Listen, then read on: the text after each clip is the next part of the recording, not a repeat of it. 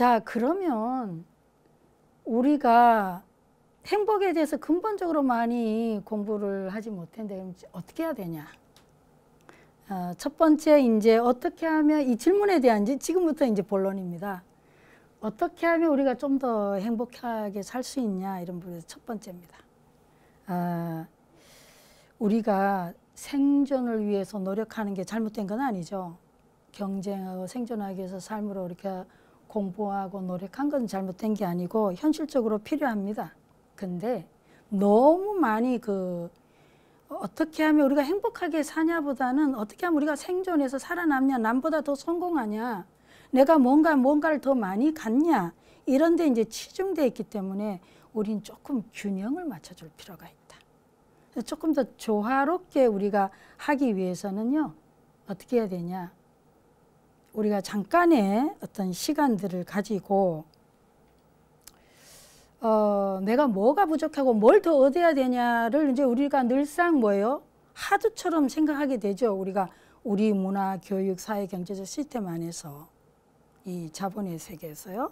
그러니까 우리는 약간의 우리의 마음의 평화를 위해서, 우리의 고요를 위해서, 우리의 마음 건강을 위해서 잠깐씩 시간을 가져서 틈날 때 우리는 내가 역으로 계속 뭐가 필요한가, 뭐가 부족한가 이거에 대한 대응으로 대치 방법으로 내가 뭘 가지고 있나. 내가 아직 내가 뭘 가지고 있나를 한번 생각해 보는 거죠. 내가 경제적인 불평감 이런 어떤 불편이 있을 때 내가 그치만 뭘 가지고 있나. 그런데 이 목록을 해보면 생각보다 많이 가지고 있어요. 그리고 내가 너무 바쁘게 계속 그거에 어, 쫓고 사는데 한 번쯤은 조금 멈추고 나의 일상에 있는 것들, 좋은 것들을 한번 음미해 보는 거죠. 우린 좋은 거는 막 그냥 넘어가잖아요. 어, 이 맑은 공기, 요즘처럼 이 가을 햇살이 좋을 때 햇살을 이렇게 음미한다든지 아니면은 차를 마실 때도 뭐 그냥 마시지 않고 차의 향기나 차의 맛을 음미한다든지 아니면 걸을 때도 그냥 걷지 말고 그 걸음 속에서 나한테 이 발바닥 명상을 통해서 내가 이렇게 딛고 있는 거, 아직도 내가 이렇게 건강하게 걸을 수 있는 거, 그 건강도 굉장히 아까 뭐 건강이 첫 번째 행복 요인으로 나왔잖아요. 아직은 내가 볼 수도 있고 들을 수 있고 그 들을 수 있는 내가 좀 좋아하는 음악을 잠깐씩이라 듣는다든지 이런 것들. 그래서 뭔가 사소한 것 같고 하찮은 것 같지만 사실은 그것이 우리를 굉장히 어, 편안하게 해요. 샤워할 때 그 내가 아직도 이 지구상에 사실은 맑은 물도 거의 뭐 많이 사라지고 있는데 아 나는 아직도 이렇게 물로 내가 따뜻하게 샤워할 수 있구나 이런 거에 대한 감사 또 그리고 그런 거에 대한 느낌 이런 것들을 음미하는 거예요. 꽃한 송이, 풀한 송이 그런 거에 대해서 음미하고 또 내가 가진 옷, 뭐 온갖 것이 다 가능합니다.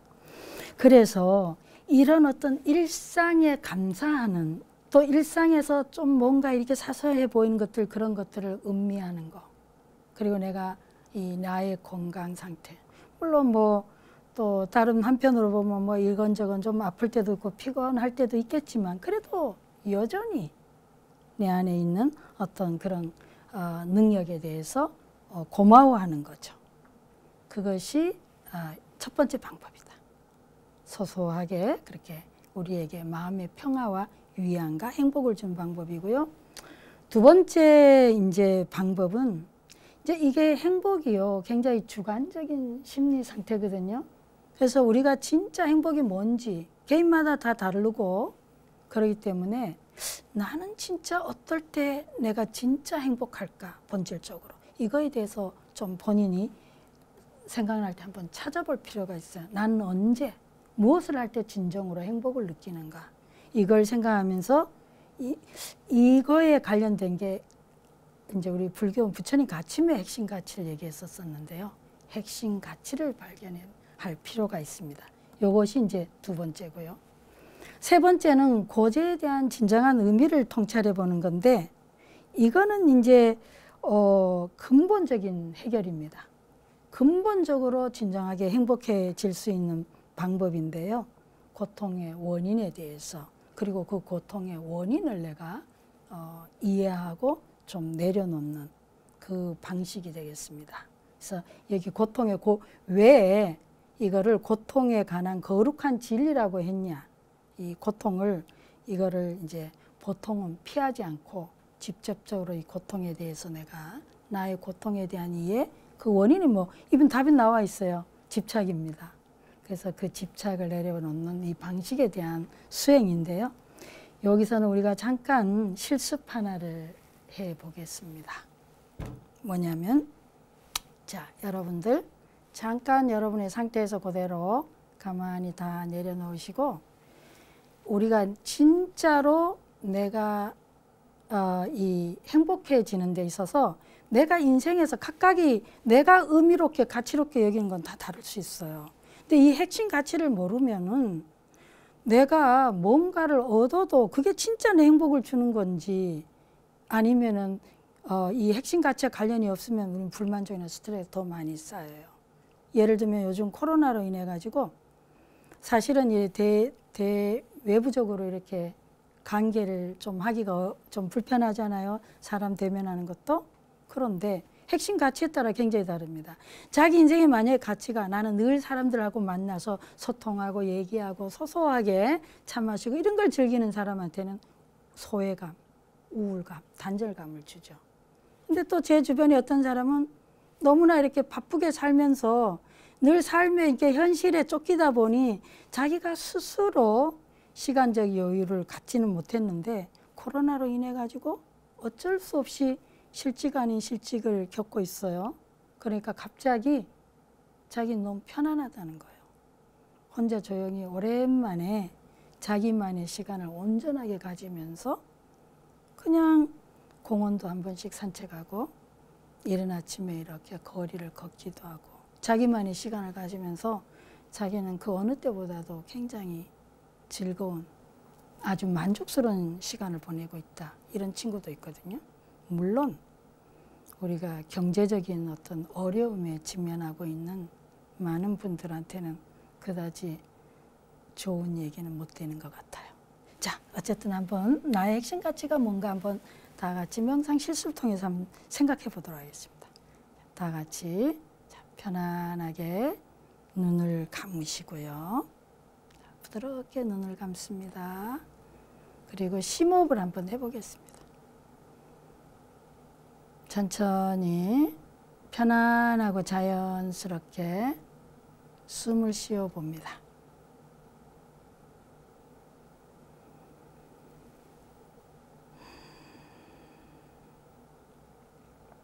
이번에 여러분이 이런 상상을 해봅니다.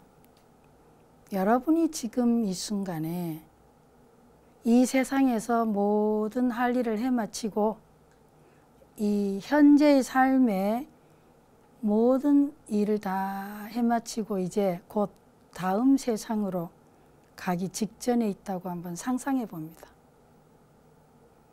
쉬운 말로 하자면 지금 죽음의 순간, 마지막에 이 현실의 삶의 마지막 순간이라고 한번 생각해 봅니다.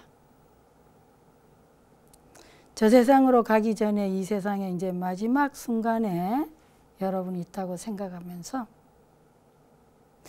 지나온 세월을 쭉 한번 돌이켜 봅니다. 과거에 젊었을 때 시절 이런저런 여러분의 20대, 30대, 40, 50, 60, 70, 80 쭉 지나온 세월을 이렇게 돌아보시면서 가장 행복했던 순간이 언제였나 이렇게 한번 생각해 봅니다. 내 인생에서 가장 행복했던 순간이 언젠가? 승진을 했을 땐가? 아니면 좋은 학교에 들어갔을 땐가?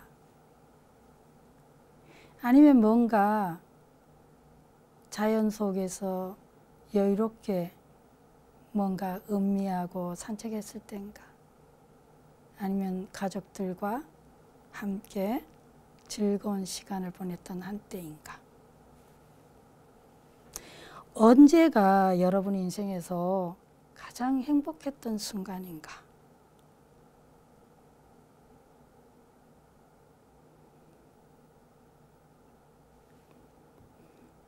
네, 이번에는 좋습니다. 자, 숨 한번 깊이 들이쉬고 내쉬시고요.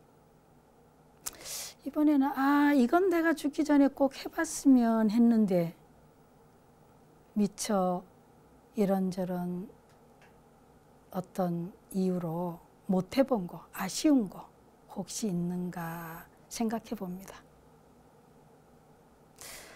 내가 다 했는데 그런 대로 이제 준비가 됐는데 뭔가 요것만은 내가 좀 더 하고 갈 걸 하는 뭔가 미련이 남는 아쉬움이 남는 또는 후회로운 게 뭔가 한번 뭐가 있나 이렇게 떠올려 봅니다.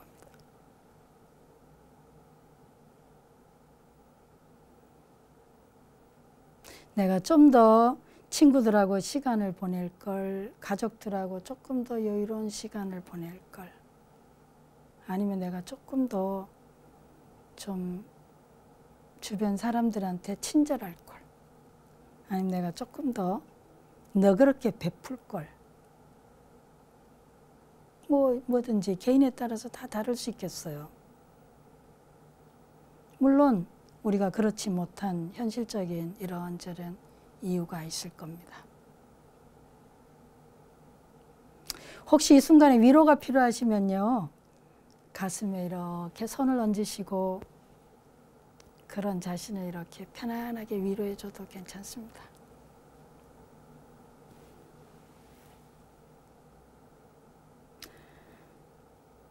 심호흡 한번 하시고요.